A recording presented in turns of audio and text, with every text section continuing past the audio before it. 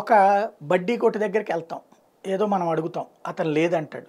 నువ్వేంటి సరిగ్గా మాట్లాడట్లేదని అడిగితే అతను నువ్వేంటి అట్ట నీకెందుకు నేను ఏమైనా బానిసరా? అంటాడు. ఇద్దరి మధ్యన మాటలు నడిచి ఒకరికొకరు చొక్కా పట్టుకుంటే చట్ట ప్రకారం అది నేరం. అట్లాగే ఇంటి పక్కన వాళ్ళతో గొడవైనా ఇంటి పక్కన అమ్మతో గొడవైనా ఇవన్నీ కూడా చట్ట ప్రకారం అయితే నేరం.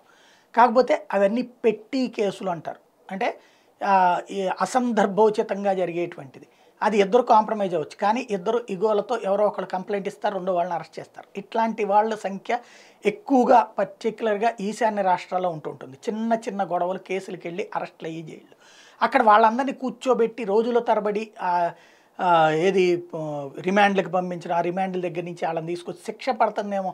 నెల రోజులు పదిహేను రోజులు అయితే వాళ్ళకి నాలుగేసి నెలలు ఐదేసి నెలలు తిప్పడానికి అవుతూ ఉండేటప్పటికి అప్పటిదాకా వాళ్ళని కూర్చోబెట్టి అవుతున్నటువంటి భోజనం ఖర్చులతో రాష్ట్ర బడ్జెట్ అంతా పోతూ ఉన్నటువంటి నేపథ్యంలో కీలకమైనటువంటి నిర్ణయం తీసుకుంది. పెట్టి కేసులు మూడు లక్షలు ఎత్తేయడానికి నిర్ణయించింది. న్యాయస్థానంలో పెరిగిపోతున్న కేసుల విషయంలో అస్సాం ప్రభుత్వం కీలక నిర్ణయం తీసుకుంది.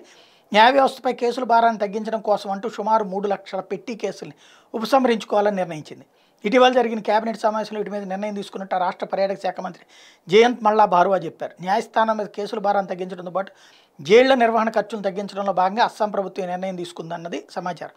రాష్ట్రంలో సుమారు నాలుగు పాయింట్ ఒకటి తొమ్మిది లక్షల పెట్టి క్రైమ్ కేసులు ఉండగా సిఆర్పిసి సెక్షన్ మూడు వందల ఇరవై ఒకటి అమలు చేస్తూ అందులో మూడు లక్షలను ఉపసంహరించుకోవాలని నిర్ణయించాం. పేరుకుపోయినటువంటి కేసుల సంఖ్యతో పాటుగా జైళ్ళలో రద్దీని కూడా ఈ నిర్ణయంతో తగ్గించే అవకాశం ఉందంటూ రాష్ట్ర మంత్రి జయంత్ మల్లా బారువా చెప్తున్నారు. ఇందుకు సంబంధించిన ఆయా కేసుల తదుపరి విచారణ సమయానికి పిటిషన్లు వేసేందుకు గాను పూర్తి నిబంధనలు మార్గదర్శకాలని పబ్లిక్ ప్రాసిక్యూటర్లకు త్వరలోనే విడుదల చేయబోతున్నారు. ఈ పెట్టి కేసుల భారం అధికంగా ఉన్న కింది స్థాయి కోర్టులో వచ్చే ఆరు నెలల్లో వీటిని ఉపసంహరించుకోబోతున్నాం అన్నటువంటిది అధికారికంగా చెప్పారు. అస్సాం ప్రభుత్వం తీసుకున్న ఈ నిర్ణయంతో అక్కడ జైళ్ళ నిర్వహణ ఖర్చు తగ్గించేందుకే ఈ ప్రయత్నం జరుగుతోందని విపక్షాలు విమర్శిస్తున్నాయి. జైళ్ళ నిర్వహణకి నూట యాభై తొమ్మిది కోట్లను బడ్జెట్లో కేటాయిస్తే అది భారీ ఎత్తున ఖర్చు అవుతోంది. తాజా నిర్ణయంతో పెట్టి కేసులో శిక్ష పడిన వాళ్ళ ఖర్చులు కూడా గణనీయంగా తగ్గించబోతోంది.